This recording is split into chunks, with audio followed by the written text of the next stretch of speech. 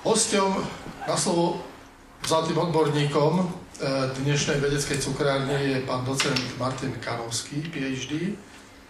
Je e, riaditeľom Ústavu sociálnej antropológie na Fakulte sociálnych a ekonomických vied Univerzity Komenského tu v Bratislave. Venuje sa tejto téme prakticky od skončenia vysokoškolského štúdia. Myslím si, že patrí medzi popredných svetových odborníkov v tejto oblasti. Ja pevne verím, že jeho prednáška vás zaujíme a vytvorí dobrý priestor na to, aby sme mohli po skončení prednášky ešte ďalej debatovať. Pán docent, vítajte. Ďakujem. Ja vám týmto zároveň odovzdávam slovo. No dobre, tak dámy a páni, viem, že teda sú medzi vami aj nejakí maturanti, ktorým teda ako niečo iné celkom bude tiahnuť hlavou teraz, keď budúci týždeň sú maturity, alebo aj tento ale keď nie, tak tým lepšie. Dobre, ja teraz teda... Pán kolega ma to tak pekne uviedol, ja nie som nejaký svetový odborník, to asi nie, ale chcem vám povedať niečo o sociálnej a kultúrnej antropológii. Keď sa povie u nás antropológia, samozrejme každého napadne, že kosti, meranie lebiek, láv a zbieranie a oprašovanie nejakých pozostatkov a skrátka každého napadne to, čo sa volá biologická alebo fyzická antropológia. A bol tu ten seriál a je kosti, takže to každý vie, o čom hovorím, ale o tom nebudem ja teraz hovoriť vôbec. Sociálna alebo kultúrna antropológia je niečo celkom iné. Ja sa vás pokúsim presvedčiť, prečo táto disciplína, sociálna antropológia, je vlastne najzaujímavejšou sociálnou vedou. A prečo aj ostatné sociálne vedy, také ako politológia, právo, ekonómia a psychológia, veľmi dobre by urobili, keby spolupracovali so sociálnou antropológiou, čo sa bežne deje na svete. Sociálna antropológia, ako kolega už naznačil, sa zaoberá sociálnymi a kultúrnymi javmi. No tým sa zaoberá každá sociálna veda. Ja sa pokúsim presvedčiť, prečo je práve sociálna antropológia najzaujímavejšia z tých všetkých vied. A vlastne, dalo by sa dokonca povedať, že jediná zaujímavá sociálna veda. A ten môj argument bude veľmi ľahko pochopiteľný, že na vede je zaujímavé nie nejaký, nejaká e, exotika alebo povedzme nejaký, nejaké veci, ktoré sa týkajú ako tu je taký pekný obrázok alebo dva obrázky. Áno, toto robia sociálni antropológovia. Chodia na terénne výskumy a skúmajú vzdialené aj domáce populácie, komunity, rituály po celom svete, ale aj v Európe. No a to mnohým ľuďom sa zdá byť zaujímavé, lebo to naznačuje niečo také ako dokumentárne filmy, ktoré človek pozerá, alebo niečo také ako každého zaujíma, čo robia Kainantuovia na Novej Guinei, alebo Ňambikvarovia v Južnej Amerike. Wow, to, to je také niečo, že pozrite sa, tam majú kopie a chodia po žeravých uhlíkoch a na Sibíri ešte stále je šamanizmus, síce aj v Bratislave je šamanizmus, chodí sa šamanom a šamankám a numerológom a vykladaniu kariet. A keď sa o tomto rozpráva, tak každého to zaujíma. Že aké je to pekné, zaujímavé, prídu cestovatelia, donesú fotografie nejakého rituálu, domorodcov, ktorí majú zastrčené perá niekde na hlave, potetovaní sú, dorezaní, teraz každý má pocit, že toto je ono a konečne je tu niečo zaujímavé oproti tej všelijakej nude. Cestovatelia a tí, čo točia dokumentárne filmy, sú veľmi populárni všade. Keď sa usporiada nejaká verejná prednáška, alebo keď sú v televízii, tak každý to nechybne sleduje, že teda aby sa niečo dozvedel o nejakých domorodcoch a o ich zvyklo, zvykoch.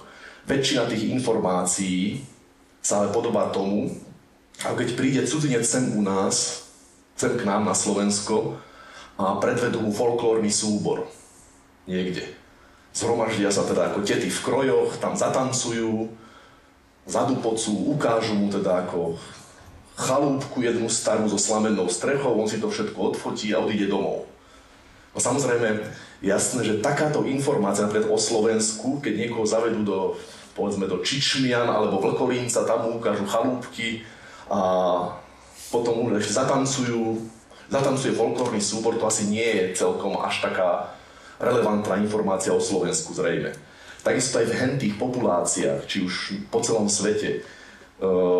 Mnohé z nich sú veľmi, tí ľudia tam sú veľmi šikovní v tom, ako predvádzať také niečo, ako takéto rituály, cestovateľom všelijakým, tí za to zaplatia, povedzme 100 dolárov a teraz oni to tam zídu a predvedú mu nejaký rituál a zatancujú. To sú ako tí juhoamerickí indiáni, ktorí niekde v Chorvátsku tancujú a pískajú na píšťalách. Ale informácia o tej kultúre z toho nie je skoro nejaká. Teraz otázka je, pokiaľ ide o našu spoločnosť a kultúru, ako sa dozvedie nejaké informácie o kultúre, Eh, ako tú kultúru spoznať, tú spoločnosť, tú komunitu, tak, aby tie informácie, to, čo sa dozvieme o tej spoločnosti a kultúre, bolo naozaj na niečo dobré a zaujímavé. Zaujímavé nie je doniesť 100 fotografií, ktoré potom premietate. Zaujímavé nie je doniesť 20 hodín videí, alebo plaviť sa na plti cez údolia Novej Guinei, to je strašne zaujímavé pre toho, kto to robí a keď na to získa grant a strávi tam pol roka, to je to veľmi dobré, ale nie veľmi užitočné. Užitočné je dozvedieť sa niečo o spoločnosti a kultúre. A teraz ja sa pokúsim povedať niečo o tom, prečo nielen o spoločnosti na Novej Guinei, alebo o spoločnosti v Južnej Amerike, alebo v Ekvádore, alebo v Austrálii, ale aj naša vlastná spoločnosť je tiež zaujímavá svojím spôsobom. Slovenská spoločnosť to nie sú len bratislavské kaviarne a bary, hoci to tak vyzerá často, ale aj v slovenskej spoločnosti sa nachádzajú, ako v každej spoločnosti, subkultúry, zaujímavé komunity, či už ide o hiphoperov, grafiťákov, pašerákov z Ukrajiny a na Ukrajinu, stredoškolských študentov, predškolákov. Je veľký rozdiel napríklad byť stredoškolským študentom v mestečku Hrochoť a v Bratislave. Nie preto, že by to boli, ako si každý myslí, tuto, že to, to sú nejakí sedláci, ktorí teda ako tam nič nevedia, nič, čo, čo tí už môžu tam. A to isté si myslia o Bratislavčanoch ľudia z Berlína. A rovnako oprávnenie alebo neoprávnenie. Keby ste išli do Los Angeles, New Yorku a podobne, tam nikto ani nevie, kde je. Bratislava je to úplne v poriadku. Čiže vy viete, kde je nejaké malé kazašské mestečko? No neviete, prečo by ste to mali vedieť. No a teraz sú komunity, subkultúry, sociálne skupiny, ktoré žijú určitým spôsobom života, majú určité predstavy a to ovplyvňuje ich správanie. Teraz, ako to zistiť? Sú veci, ktoré sa dajú zistiť tak povedať ako napríklad, že prídete tam, máte na to 3 dní, čo urobíte? Chcete niečo zistiť, nejaké informácie o nejakej komunite, sociálnej informácie, nejaké také základné. Štandardná metóda je nejaký dotazník. Pripravíte nejaký dotazník, rozdáte to 200 ľuďom, 30 vám to vrátia, ledva aj to ich musíte otravovať, potom urobíte druhé kolo, ďalších 20 sa vám dotazníkov objaví a horko ťažko po úmornom úsilí po dvoch týždňoch z 200, nejakých 40 dotazníkov máte s 20 otázkami, to nejako vyhodnotíte a získate nejaké informácie. To spracujete štatisticky a z toho potom vyplynie zväčša pár veľmi málo užitočných informácií mimochodom. Ale teraz ako to zistiť dobre? Ako zistiť, keď ľudia v nejakej komunite, lokalite, meste, meskej štvrti, alebo aj nie, ľudia, ktorí sú spojení s nejakou, nejakým konkrétnym miestom, ako napríklad ľudia, nejakí metalisti alebo hip-hoperi, ako rozmýšľajú, ako sa správajú. To je subkultúra určitá. Teraz ako to zistiť? Tam nemôžete prísť s dotazníkom a opýtať sa ich, prosím vás pekne, nejakého metalistu, vlastne toho hip-hopera, že prosím vás pekne, tuto by ste, keby ste mi do dotazníku napísali, ja sa vás budem pýtať, že aký je váš životný štýl a čo máte, e, kde kupujete oblečenie a akým spôsobom rozmýšľate a potom robia to niektorí sociálni vedci a to je úplne smiešne. Teraz ako to urobiť dobre? Predstavte si, že máte zistiť niečo o nejakej sociálnej skupine. Ale naozaj zistiť niečo, čo je základom ich rozhodovania, spôsobov, ako sa správajú. Ako to urobiť? Dotazník a tri dní tam pobehovať alebo odfotiť si ich na festivale nejakom. Čo je nejaký taký festival, hoci aký, to je jedno aký. Už teraz festival, tam je všetko, na jednom pódiu tancujú hip-hopery, na druhom metal. No a keby ste tam aj prišli, ak tam nehorí náhodou, tak niečo tam zistíte, ale rozumiete, za dva dní ťažko niečo zistíte za dva dní rozumné. Teraz ako to urobiť vlastne? Čo by ste navrhli, že keď treba zistiť niečo o nejakej komunite, čo by sa s tým malo robiť? Keď chcete naozaj zistiť, že ako to v tej komunite funguje. Áno? Stať sa súčasťou tej komunity. Áno, nejakým spôsobom sa stať súčasťou tej komunity. Lenže predstavte si, že k vám domov zrazu vám zabúcha niekto na dvere a povie, že chce u vás bývať a chce sa stať súčasťou a chce každý deň tam chodiť a rozprávať sa s vami.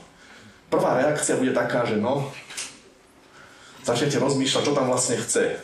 Či vás chce vykradnúť, alebo či je svedok Jehovou, alebo nejaký blázon. A teraz, čo potrebujete ešte? Nápad je to dobrý, áno. Tak to musí byť urobené. Treba nejakým spôsobom v tej komunite tráviť čas. Lenže, čo tam je ešte ďalšou podmienkou, strašne dôležitou? Že keď tam chcete tráviť čas a získať si dôveru, čo si to vyžaduje? To je strašne jednoduché. Správať sa ako. Áno, správať sa ako nezapadnúť. A základnou črtou toho, ako môžete niekam zapadnúť, hoci kde, to je jedno do akej komunity, cudzej, našej a podobne, keď do inej komunity, tak jedna vec je absolútne kľúčová, keď chcete niekam zapadnúť. A to, nebudem vás nejako napínať, je, vyžaduje si to jednu základnú, strašne jednoduchá, to je čas. Za koľko si myslíte, že dokážete zapadnúť do komunity, keď nemáte povedzme, že jazykové bariéry? Kvôli zjednodušeniu, predstavte si, že nejdete na Novú Guineu, ale idete povedzme medzi nejakých e, hráčov sieťových hier do Košíc. A teraz, koľko času si to asi vyžiada, čo myslíte zapadnúť tam, takže vás naozaj budú akceptovať? Čo myslíte? Záleží od tej komunity. Môže to trvať rok, môže to trvať dva týždne. Áno, takto, že keby ste mali ale urobiť odhad, že či to bude skôr bližšie k tým dva, dvom týždňom alebo k roku, Roku. Áno, presne tak. Zapadnúť do komunity tak, aby tá komunita vás akceptovala a brala ako jedného z nich si vyžaduje niekoľko mesiacov času. Nijaká komunita, od, môžu to predstierať, nejaká komunita, ktorej príde cudzí človek, nebude ho brať ako svojho za dva týždne. To môže sa tak chvíľu správať, ale neprenikne do nejakého vnútorného kruhu za dva týždne. Ako môžu mu začať dôverovať, môžu niektoré veci mu začať rozprávať, ale dva týždne je málo. No a teraz, sociálna antropológia je disciplína, ktorá si toto, čo je teda veľmi jednoduché, e, tento fakt si veľmi dobre uvedomuje. Sociálna antropológia sa líši od ostatných sociálnych vied svojou metódou, ktorou je dlhodobé, zúčastnené pozorovanie, terénny výskum priamo v nejakej komunite. To nemusí byť takáto komunita, nejaká exotická, hoci môže, to môže byť hociaká komunita. Ale vyžaduje si to dlhodobý terénny pobyt priamo. Zapadnúť do komunity, tam nestačí tam len byť, pozor. Lebo každý je schopný zapadnúť do komunity, kto nie je úplný autista. Čiže nejakým spôsobom, keď sa tam bude zdržovať, zapadne. Ale nestačí len zapadnúť. Treba byť zúčastnený v tej komunite, ale tá metóda hlavná sociálnej antropológie sa nevolá zúčastnenosť, to sa volá zúčastnené pozorovanie. Čiže zároveň sa zúčastniť a aj pozorovať tých ľudí a aj seba samého. Keď sa stane človek súčasťou komunity, mnohé veci odpozoruje aj na sebe samom. Niektoré dokonca aj tak, že ani sám nevie, ako sa ich naučil. Jeden môj kolega, ktorý robil, a ešte stále robí, dlhé 10 ročia výskumy na Madagaskare, tak e, keď tam prišiel prvý raz v nejakom roku 65, tak e, tí ľudia, jedna z vecí, ktoré ho zaujímali, okrem mnohých iných vecí, je, že ako zistujú, že ktorý strom je najvhodnejší na výrobu člnov. A oni hovorili, my to jednoducho vidíme. Pozri sa, toto je vhodný strom. Prečo? Neviem.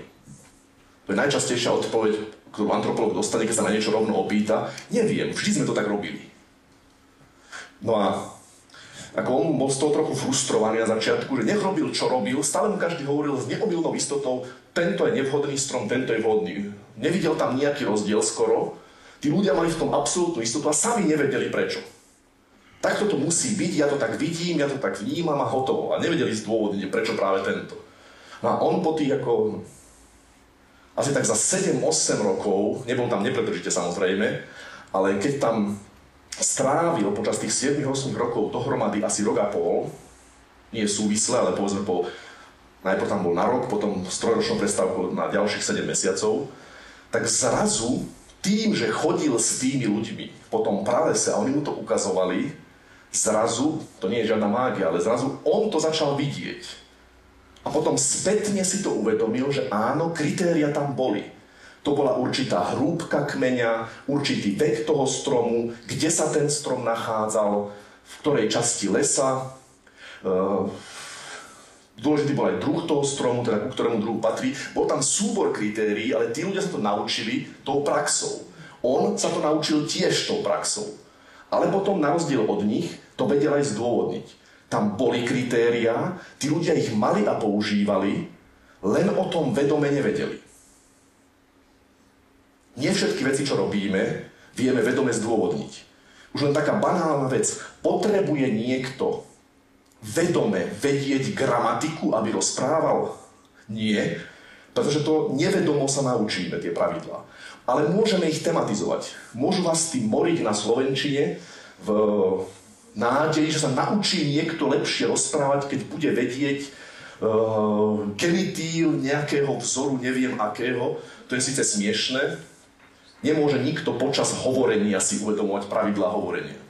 Ale tematizovať sa to dá. Sú pravidlá gramatické, môžete mať celú vedu, lingvistiku, ktorá sa zaoberá syntaxou napríklad, alebo inými lingvistickými pravidlami dá sa určiť, podľa akých pravidiel hovoríme. Aj keď musíme ich my poznať, ale nie vedomo. Poznáme ich nevedome, implicitne. Na to neplatí len pre jazykové pravidlá. Množstvo pravidiel sociálnych a kultúrnych poznáme implicitne tak, že keď sa nás niečo, niekto opýta, tak poviete, že neviem. neviem. A keď začnete nad tým rozmýšľať, no prečo, prečo práve toto mám oblečené? Prečo ako skladujem toľko vecí v skríniach?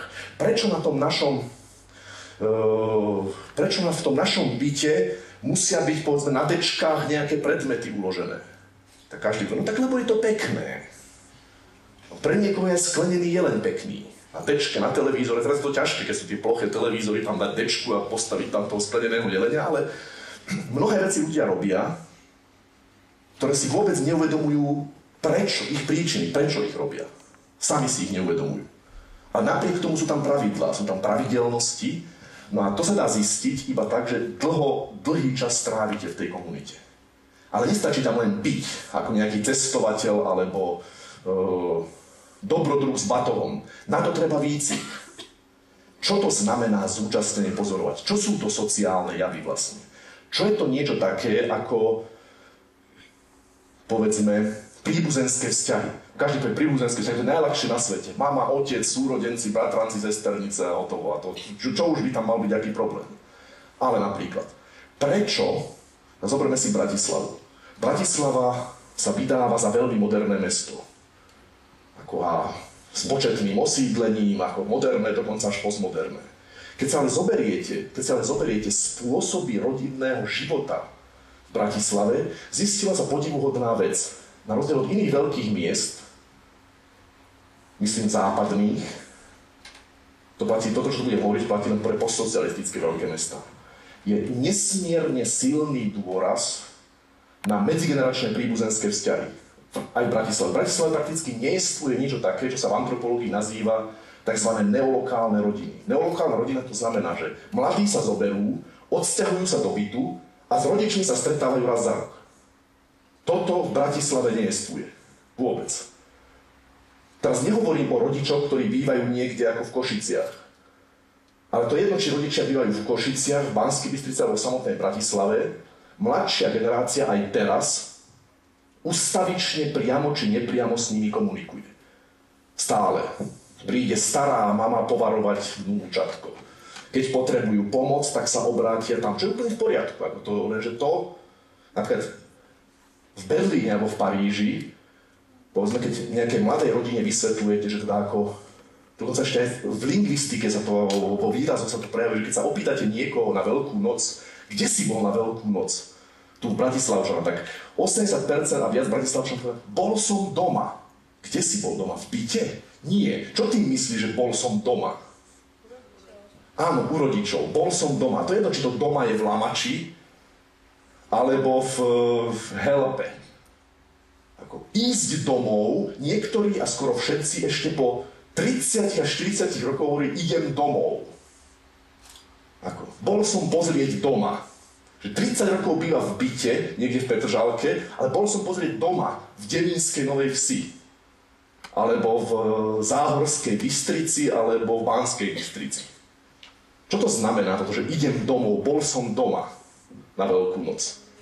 Tam, tam kde vyrástol. Teraz ako je ustavičné tiahnutie národov a ako stále ľudia u nás stále udržujú tie príbuzenské vzťahy medzigeneračné na veľmi rozšírenej miere a tam sa toho až tak veľa nezmenilo v porovnaní s 19. storočím. Sú iné tie vzťahy, je to iný vzťah ako na nejakej malej dedine v 19. storočí, ale frekvencia tých stykov s rodičmi je skoro rovnaká. Na rozdiel povedzme od nejakých veľkých západných miest. Tam sa to deje tak, raz za mesiac si zavoláme a raz za rok tam prídeme, ale na otočku. Spať u rodičov, že, že 40 ročný pár s malými, no malými deťmi, 15 ročnými deťmi, že by sa ako prišiel na 3 dni prespávať niekde.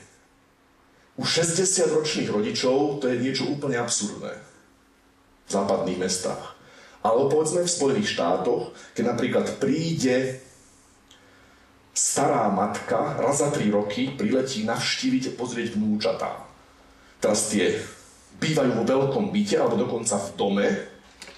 Teraz je absolútnym štandardom, a to nie len v bohatých komunitách, že povedzme, keď matka príde, alebo rodičovský pár, 60-ročný, že ide bývať do hotela.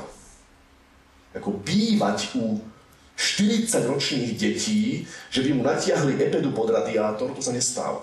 A to nie je záležitosť príjmov, lebo takto u nás sa správajú aj veľmi bohatí ľudia. Človek, živnostník, majiteľ troch krčier v Žiline, ktoré má miliónové príjmy, keď príde za bratrancom do Bratislavy, tak mu úplne on to čaká a tam mu natiahnu epedu pod radiátor. Dajú tam tri vankúša, on je s tým spokojne, tak to má byť, čo je OK, ja to nejako neodsudzujem, to nie je morálna záležitosť, aby som sa chcel z toho vysmievať, ale je to veľmi zaujímavé takéto veci sledovať. No a samozrejme nikto na tom nič zle nevidí a ja to nie je nič zlé. Len zistiť toto znamená žiť s tými ľuďmi. Ďalšia vec, ďalší príklad vám poviem, že u nás, a nie len u nás, ale aj inde, ale u nás je to obzvlášť zaujímavé, ľudia strašné množstvo všelijakých vecí stále skladujú. Starší ľudia skladujú, ale zaujímavé, že aj mladší ľudia skladujú. Len iné veci, ale skladujú. Vstavané skrine, roldory, kdekoľvek idete, či do domu alebo bytu, keď máte dom, tak na tieto veci sú celé miestnosti vyhradené. Keď máte byt, tak tam nájdete obrovské množstvo vstavaných skríň. Keď tam žijete s tými ľuďmi, zistíte, že používajú iba zlomok tých vecí. Napríklad, a to, je, to je, sú veľké rozdiely, čo sa týka napríklad, čo sa týka napríklad povedzme, elektroniky a oblečenia. Elektronika tam to tak nefunguje. Keď sa niečo pokazí, sa to vyhodí a podobne, ale oblečenie. Z oblečenia to najzaujímavejšie. Ľudia skladujú obrovské množstvo vecí v oblečeniach, ktorých používajú desatinu.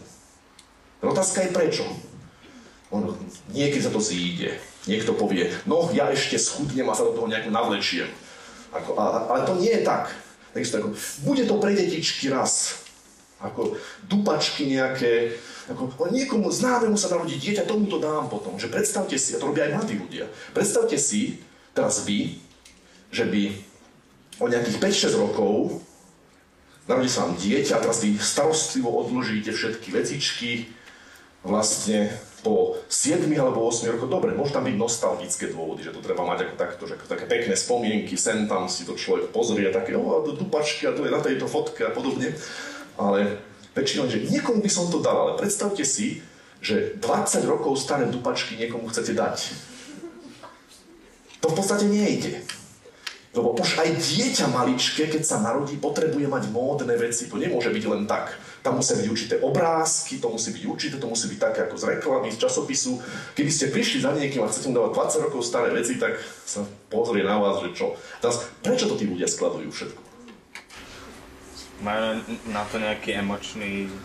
No, to na to prichyten? Keby to tak bolo, tak niektoré veci by skladovali, ale niektoré nie. Nedá sa povedať, že niekto skladuje povedzme 15 starých košelí z emočných dôvodov. Jednu môže, alebo dve. Ale 15? Prečo 15? Áno, presne toto je najčastejšia odpoveď ľudí. Robí sa to tak, vždy to tak bolo. Tak viete, tá košela je dobrá, čo ju mám vyhodiť? Alebo rozstrihať na handru dobrú košelu? Áno, je im to ľúto, áno, je im to, presne tak, že je im to ľúto, ale tam sú sociálne dôvody, tam nie sú, tie emócie len nasledujú určitý sociálny tlak. Že tam sociálny tlak, jednoducho ľudia často robia to, čo robili nie ani tak ich rodičia. Robia iné veci, iné veci skladujú, ale podobnými spôsobmi. A to nie len ale tupé napodobňovanie. Napríklad niekto, niekto skladuje, ale nie len z emočných dôvodov. Niekto skladuje veci, ku ktorým nemá nejaký emočný vzťah. Len ich tam má. Jednoducho ich tam má. Nájdete obrovskú škatulu, plnú súčiastok zo starého auta. Stará Felícia z roku 1990. Tam sú naházané súčiastky. A teraz ako, na čo to tam máš, sa opýtam. Na čo ti to tam je? Chceš kúpovať ešte Felíc? Nie, nie, čo si sa zbláznil? A prečo to tam má? Ja neviem, tak čo ja viem, tak ako, však to je ešte dobré. No a čo keď je to dobré, čo s tým chceš robiť? Neviem, nič. Raz sa zíde, nie? Áno, niektorí ľudia hovoria, raz sa zíde, ale niektorí nemajú ilúzie. Niektorí ľudia povedia, že ako nie, ako to len čo ja viem, nevedia ani prečo, robia to ani nevedia prečo. Ale sú tam dôvody, sú tam sociálne dôvody, sú tam kultúrne dôvody, určité typy správania sa jednoducho reprodukujú. Tí ľudia nie sú hlúpi a určitým spôsobom je to racionálne. Samozrejme, že tie ich zdôvodnenia, keď oni povedia, možno sa to zíde, je to pekné, je to ešte dobré, je mi to ľúto vyhodiť. To je síce zaujímavé, ale to nie je vysvetlenie. Antropológ musí zistiť reálne vysvetlenie, teda naozaj nie dôvody ľudí, ale príčiny ich správania, čo je niečo iné. Reálna príčina správania, to sa musí vyvodiť normálnou vedeckou analýzou. Zhromaždiť veľké množstvo dát a analyzovať to. Napríklad porovnať, ako sa správajú jednotlivé sociálne skupiny.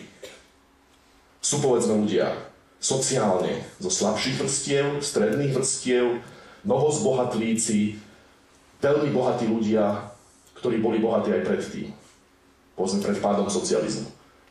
Ďalej sú ešte rôzne formy kapitálu, nielen ekonomického, ale niečo takého kultúrneho, sociálneho, známosti. Teraz nemyslím len korupciu a klientelizmus, ale sieť priateľstiev. Množstvo takýchto faktorov môže antropolog odpozorovať a čas z nich použiť na vysvetlenie. Je veľký rozdiel, ako sa ľudia správajú v jednotlivých subkultúrach a sociálnych skupinách. Niečo môžete urobiť ako bratislavský študent, keby ste to isté spravili, keď budete mať 40 rokov, vy si myslíte síce, že nie, že vy budete 40 ročne taký istý ako teraz, ale nie. Teraz nemyslím len výzorom. A napríklad ďalšou zaujímavou vecou tu je, že pokiaľ ide napríklad o Eh, určité druhy hudobných subkultúr absolútne miznú z týchto subkultúr úplne ľudia staršieho veku u nás, v postsocialistických krajinách.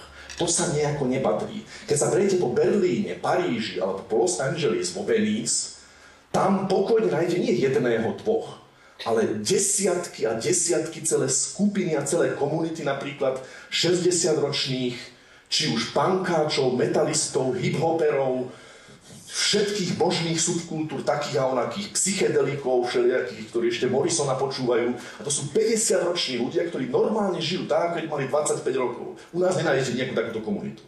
Nájdete jednotlivcov, sem tam, aj tí len tak potichu, a to sa neodvážia, len doma si to počuť, aj to len potichu, lebo susedia by púchali na, na stenu.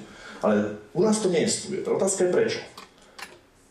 Áno? Alebo by sme sa nejak nadvyš- od, iných? Lebo nechcem byť. Nech, ako, nikto nevie presne, lebo to nie je dobre preskúmané, takéto výskumy nemáme. A napríklad, prečo niekto, kto je 23-ročný, povedzme, metalista alebo hip-hopper, teraz sa ožení, alebo dievčina sa vydá a teraz sú určité predstavy, ako to má byť.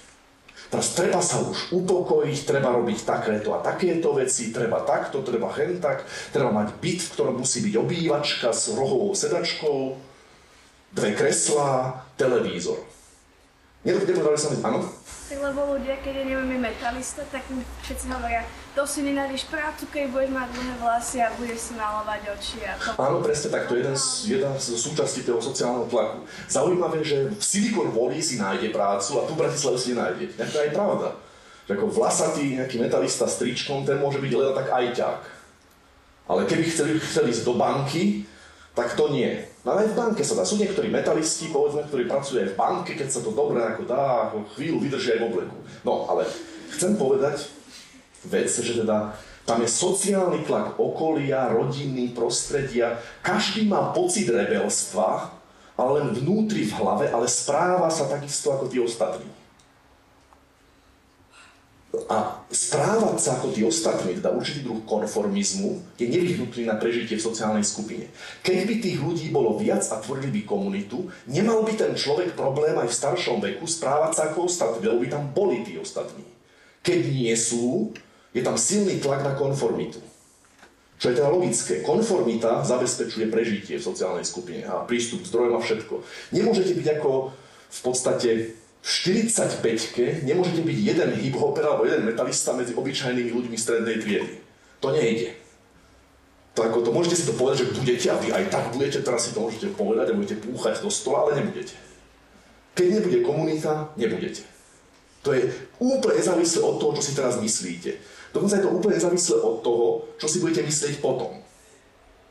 Tam už môžete byť hiphoperov alebo metalistom len doma v byte, keď si dáte slúchatka. Alebo môžete otravať susedov tým, že to vypálite aj v tom byte, ale v byte. Už nemôžete byť tak povedať 40-ročný hiphoper na ulici. Alebo metalista. To nie. To je už divné. U nás. No a teraz vrátim sa teda k veci.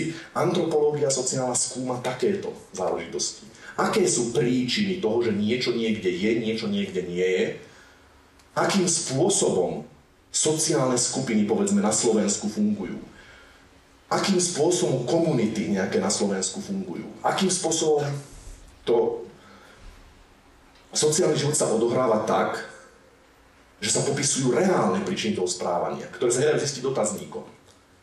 Povedzme, že to má aj praktické dôsledky. Povedzme, chce sa stavať diálnica. Tam samozrejme teraz sú tam všelijaké problémy, také, onaké, vyvlastňovanie, pozemky, špekulanti, alebo povedzme, že chce sa urobiť, vyhlásiť e, chránená zóna niekde.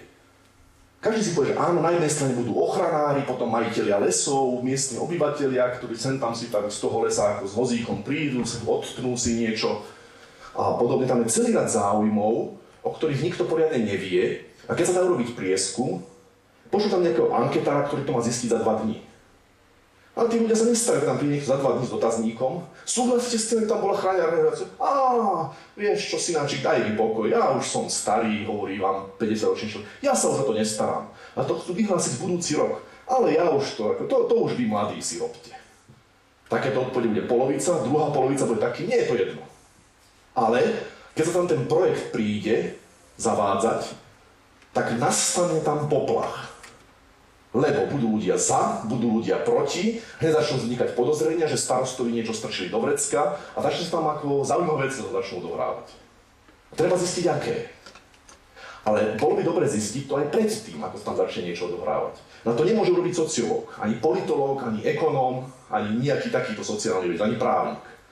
Lebo aj keby chcel, ako to má urobiť v škandinávských krajinách alebo v Amerike na takéto veci práve najímajú antropológa, aby tam na dva mesiace išiel, nemusí tam byť rok, ale dva mesiace a zistil, aká asi bude odozva, aké tam je sociálne rozvrstvenie, aké môžu byť záujmy za, aké môžu byť záujmy proti, keď sa nejaký projekt zavádza, či už sociálny alebo ekologický a môže nazbierať relevantné informácie.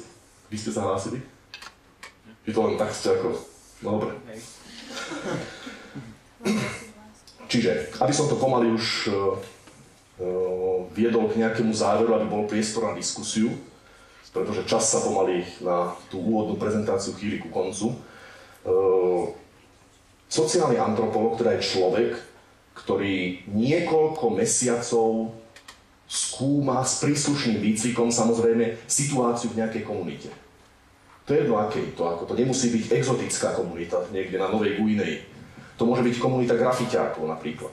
Máme teraz jednu záverečnú prácu, študent, ktorý skúmal niekoľko mesiacov komunitu grafity. sprajerov. To môže byť e, to môžu byť ľudia, ktorí sa zúčastňujú náboženských pútí, to môžu byť, môže byť nejaká konkrétna napríklad škola základná v nejakej malej, v nejakej malej dedine. To môže byť e, postoj verejnosti k Horskému parku tu v Bratislave. Ktorí, akí ľudia tam chodia, aké typy ľudí tam chodia. Sú tam nejaké typy ľudí, sú tam nejaké pravidelnosti v tom, aký je postoj susedov, okolia, verejnosti. Čo to znamená vlastne niečo také ako park, uh, horský park, ako lokalita. Samozrejme, dajú sa rozdať dotazníky, ale tak to aj nezistíte s dotazníkom. Ak sa vám vôbec vráti aspoň desatina. Takisto, Bratislava vybuchlo minule ako aféra PKO. Tam ako ľudia si spomenuli na svoje maturitné plesy, takí 50 60 a začal hurhaj. Teraz, čo? Aké sú tam záujmy? Aké sú tam reálne pocity? Kto je ochotný s tým niečo spraviť? Kto niečo okolo toho robí? Ktorí ľudia sú aktívni? Ktorí sú podporovatelia? Čo sa tam okolo toho deje? To treba skúmať niekoľko mesiacov. A to, to sa dá urobiť práve. V rámci, hovorím, dá sa skúmať na Slovensku, dá sa skúmať mimo Slovenska a pritom to nie je ani také drahé a náročné. A nech sa chytí za hlavu, preboha, mám študent na dva mesiace niekde ísť, čo tam budem, preboha, kto mi to zaplatí? Lenže aj keď ste tu v Bratislave a nepracujete, kto vám to zaplatí? No rodičia, no príďte do chladničky, zoberiete sa, to sa kupuje, aj tí rodičia to kupujú. A prežiť niekde na Ukrajine alebo na východnom Slovensku dva mesiace sa dá rovnako ľahko a lacno a ešte lacnejšie ako tu v Bratislave. Čiže ani drahé to nie je. No, samozrejme, sociálna antropológia nie je len o tomto, o takýchto príhodičkách. Sociálna antropológia je štandardná disciplína so 150-ročnou históriou a medzinárodne veľmi dobre etablovaná. Najzaujímavejšie veci, ktoré sa dejú v súčasnosti v sociálnej antropológii sú uh, keď sa robia veľmi podobné výskumy v rôznych krajinách po celom svete. Ten istý výskumný projekt sa skúša vo veľmi rôznych kultúrach. Že ako ľudia rôznych kultúr rozmýšľajú. Napríklad povedzme o takej veci, ako je morálka. Nie o tom, každý vie, že ľudia rôznych kultúr iné veci považujú za dobré a zlé a to nie je ničím zaujímavé. To, čo vie každý, nie je ničím zaujímavé. Ale existuje v každom kultúre niečo také, že keď niekto spácha nejaký zločin. Nie je zaujímavé, že v jednej kultúre to je zločin a v druhej nie. To je banalita. Zaujímavé je, zohľadňujú v každej kultúre niečo také ako úmysel, či to ten človek urobil náročky alebo nie. Prečo myslíte? Prečo by niekto nemohol povedať, budeš potrestaný, to je jedno, či si to chcel alebo nechcel. Jedno, či si to urobil zámerne, z nedbalosti, keď sa tvoj voz prevráti a zabil človeka, budeš potrestaný, bodka. Lebo posudzujú sa výsledky a nie tvoje úmysly. Prečo myslíte, že je úplne samozrejmé, že niekto sa bude zaoberať nejakými úmyslami? Nie je to nič prirodzené. Dokonca aj v našej kultúre to vzniklo asi tak od 17. storočia. Keď si pozriete staršie veci, aj to ešte sa presadilo sa to až v nejakom 19. Dovtedy bolo dôležité, nikoho nezaujímal úmysel. Ukradol si, ukradol, bodka, dovidenia. Ideš tam, kde treba. Skúmal sa iba čin samotný a neskúmal sa úmysel. Či to urobil náročky, či to plánoval, neplánoval, to bolo úplne ľahostajné. Úplne ľahostajné. Nikoho to nezaujímalo, nikto sa tým nezaoberal. To súvisí s vyspelosťou tých ľudí, tej, tej, tej, tej Nie. Nesúvisí, pretože sú kultúry, ktoré sú, alebo boli, e, podstatne vyspelejšie, 18. storočia nebrali do úvahy úmysel, brali do úvahy niečo také ako poriadok spoločnosti. Napríklad v 16. 16. storočí Čína bola podstatne vyspelejšia ako Európa. Vo všetkých ukazovateľoch. Ekonomických, sociálnych a podobne. A otázka je, že čo sú tam tie? Je to tak naozaj? No, od, e, odpovedať na to znamená, nemôžeme povedať, že je to prirodzené, keď si myslíme, že to je prirodzené, alebo u nás je to tak, tak to je tak všade. Treba to zistiť. Jednoducho, to je problém, že najprv to treba zistiť, či to tak je. Čiže predstavte si, že to skúmate teda naozaj na rôznych miestach sveta. To isté. Dávať, zadávate ľuďom príbehy od e, Ukrajiny cez Fajerské ostrovy, Ekvádor, Peru, Bolívia, Brazília, Tanzánia, Austrália, Fidži, Papua Nová Guinea, Filipíny, keď zadáte takýto výskum a strávite tam ako antropológovia, teda tým antropológov, keď toto skúma, povedzme 20 antropologov, keď to skúma rok, tak tie výsledky môžete porovnať potom. Zaujímavé je, že ako úmysel takto, v každej kultúre ľudia rozoznávajú úmysel, ale nie všade z toho odvodzujú morálku. Napríklad na Papue Novej Guinei, tam ľudia vedia, že niekto urobil niečo náročky, ale neberú to do úvahy, keď, či ho majú, keď ho majú potrestať alebo nie. Ale vedia to rozoznať. Vedia presne, že niekto niečo urobil náročky, ale keď niekto urobil niečo náročky, aj, alebo aj neurobil to náročky, aj tak ho treba potrestať. Čiže vedia to, len to neberú do úvahy pri morálnom usudzovaní. Inde to zase ako, vo väčšine kultúre máte pravdu, že berú to do úvahy. Tvrdia, že treba viac potrestať toho, čo to urobil náročky. Ale treba potrestať aj toho, kto to neurobil náročky. Iba dve kultúry sú také, alebo tri z týchto, kde úmysel je rozhodujúci. A to sú naše kultúry. Čiže jednoducho, v ostatných kultúrach, teda v Spojených štátoch a na Ukrajine, to je zhruba naša civilizácia, v ostatných kultúrach hovoria, áno, toho, kto urobil to niečo náročky zlého, treba potrestať viac, ale toho, kto urobil niečo neúmyselne, treba tiež potrestať a poriadne. Len o trošku menej. Čiže u nás je veľmi časté také, že ak to niekto robil neúmyselne alebo z nedbalosti, tak buď ho nejako len podmienečne odsúdiť alebo úplne oslobodiť. No čo, tak nezabrzdil auto, no tak auto išlo dole kopcom, stalo sa nešťastie. On to nechcel, nevedel, nemohol a podobne. Lenže zaujímavé na tomto celom je, a týmto už te ukončím, že keď si zoberiete u nás bežných ľudí, takých ako sme my, keď sa takéto niečo stane, ľudia majú u nás veľmi silnú tendenciu uvažovať takisto ako tí ľudia na Papue. Tí, ktorých to postihne. Alebo tí, ktorí sú svetkami. Jednoducho, keď sa to niekomu stane, hneď každý prejde na to uvažovanie. Mňa nezaujíma, že on nezabudol, alebo zabudol, alebo chcel, alebo nechcel zabrzdiť auto. Keď sa to stalo mne, zlomil, zlomil nohu môjmu dieťaťu, treba s ním zatočiť. A riadne. A úmysel nie je dôležitý. Každý vám toto povie, že úmysel nie je dôležitý. Či chcel alebo nechcel, úmysel nie je dôležitý. A stále ako sa oko za oko, zub za zub medzi ľuďmi, ktorí sú svetkami alebo postihnutými, je veľmi podobné usudzovanie ako na Pápue. U nás. To je teda veľmi zaujímavé svojím spôsobom. Dokonca už aj keď ľudí to priamo nepostihne, keď sa s niekým rozprávate, začne to hovoriť abstraktnú príhodu, malo by sa a mohlo by sa Vtedy ľudia povedia, no nie, keď nechcel, tak nechcel. A keď povedia, dobre, keď poviete príhodu modelovú, áno, vám by sa to stalo. Už vtedy ľudia začnú odpovedať inak. Ani sa im to nemusí stať, už keď to je na osobnej rovine, ľudia odpovedajú úplne inak. Dobre, takže uh, úplne na záver by som chcel povedať to, uh, na takéto niečo, teda robiť antropologické výskumy po celom svete alebo aj na Slovensku, Samozrejme treba štúdium, prípravu a výcvik. Čiže sociálna antropológia je štandardná disciplína s metódami, technikami. Ako potrebujete na to dlhodobo aspoň ročný výcvik, aby ste vedeli, keď máte ísť do terénu, čo a ako máte pozorovať. Na sociálna antropológia je jediná disciplína ktorá také, na Slovensku, ktorá takéto niečo poskytuje. No a jediná disciplína sociálna na Slovensku, ktorá umožňuje, zatiaľ to sa to ešte len rozvíja, ktorá umožňuje reálne príčiny ľudského správania popísať a vysvetliť. Takže veda nie je zaujímavá tým, že vám ukáže niekoho s kopiami, alebo ako ukrajinské ženičky ako predávajú sír, alebo ako sa značkové trička pašujú z Užhorodu sem do značkových predajní. Ale zaujímavé to je vtedy, veda každá je zaujímavá prírodná alebo sociálna, keď dokáže niečo vysvetliť tak, že zistíte tie reálne príčiny. Áno, ľudia sa správajú a ja som prišiel alebo prišiel na to, toto sú tie príčiny ich správania.